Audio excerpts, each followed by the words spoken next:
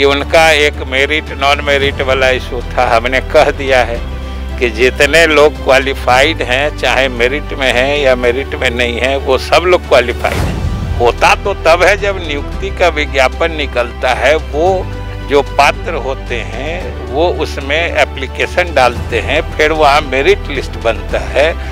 फिर merit list के आधार पर बहाली होती है और जो एस टी उन्नीस में पास किए हैं उनको सातवें चरण में हम लोग शीघ्र मौका देने जा रहे हैं। नमस्कार, आप देख रहे हैं एनबीसी 24 मैं हूँ आपके साथ मानसी। अभी मेरे साथ यहाँ पे मौजूद है बिहार के शिक्षा मंत्री विजय कुमार चौधरी। आइए, आज हम उनसे बात करेंगे और बिहार की शिक्षा व्यवस्था और एस के मुद्दों पर उनसे चर्चा करेंगे। सर, सबसे पहले तो आपका हमारे चैनल में बहुत बहुत स्वागत है। सर, आप हमें ये बताइए कि बिहार की शिक्षा व्यवस्था इतनी कमज़ोर क्यों है? आपकी क्या कुछ व्यवस्था है यहाँ पे लेके?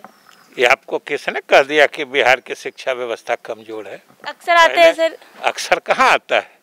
अक्सर तो कहीं नहीं आता है। बिहार बिहार- के बिहार की शिक्षा व्यवस्था बिल्कुल कमज़ोर नहीं है।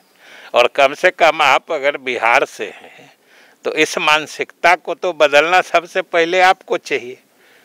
बिहार में शिक्षा व्यवस्था कमज़ोर नहीं है। जितनी परीक्षाएँ देश भर में होती हैं सब में बिहार के छात्र अव्वल आते हैं। यहाँ कमज़ोर हैं इसीलिए। और हम लोग शिक्षा व्यवस्था को और चुस्त दुरुस्त कर रहे हैं जो सुधार की आवश्यकता है वो कर रहे हैं।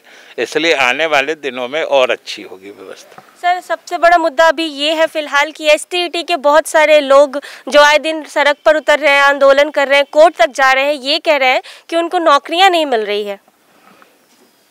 देखिए उन लोगों को जो तो सड़क पर कभी उतरे थे और अब तो वो सरकार के व्यवस्था से संतुष्ट होके घर पर बैठे हुए हैं तो फिर आप उनको सड़क पर उतरने की बात याद क्यों दिला रहे हैं? वो तो सारी चीज़ों को समझ गए हैं कि उनका एक मेरिट नॉन मेरिट वाला इशू था। हमने कह दिया है कि जितने लोग क्वालिफाइड हैं चाहे मेरिट में हैं या मेरिट में नहीं है वो सब लोग क्वालिफाइड हैं। अच्छा सारे जब सारे लोग क्वालिफाइड हैं। सबको नौकरियाँ मिलेंगी सर? अब पहले टीईटी का मतलब समझती हैं। टीईटी का मतलब होता है पात्रता परीक्षा। मतलब वो नियुक्ति के पात्र हो सकते हैं। एलिजिबिलिटी टेस्ट है। जो वो एलिजिबल होंगे। कोई किसी के लिए एलिजिबल है मतलब उसको हो गया। होता तो तब है जब नियुक्ति का विज्ञापन निकलता है, वो जो पात्र होते हैं वो उसमें एप्लीकेशन डालते हैं फिर वहाँ मेरिट लिस्ट बनता है।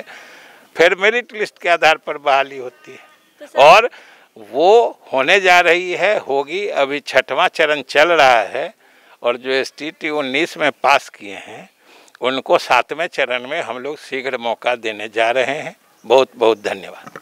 तो देखा आपने इन्होंने बोला कि सातवें चरण का जब परीक्षा होगा तो उनकी बहाली निकलेगी। तो उनमें उनको मौका दिया जाएगा। इसी तरह के छोटे बड़े खबरों के साथ देखते रहे एन एनबीसी 24